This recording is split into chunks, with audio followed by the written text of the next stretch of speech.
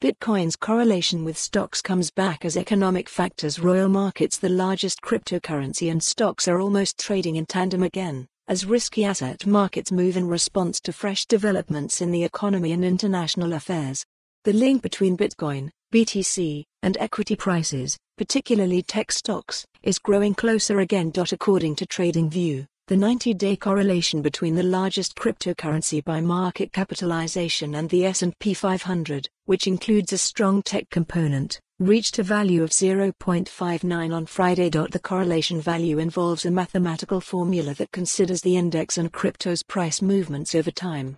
A correlation above 0.5 is considered moderately strong and above 0.7 very strong, while correlations between 0.3 and minus 0.3 are weak.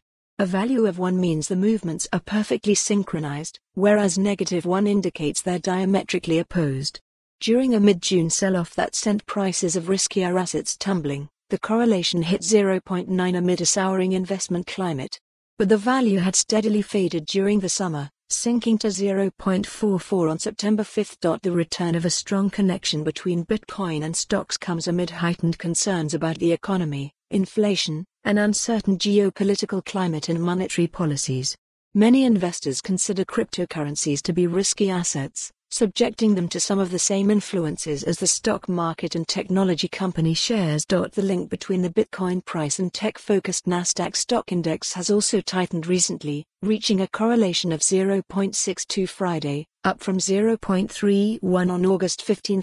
The S&P, which includes Apple. Follow the URL for the full article. For more on this story, visit the news article link.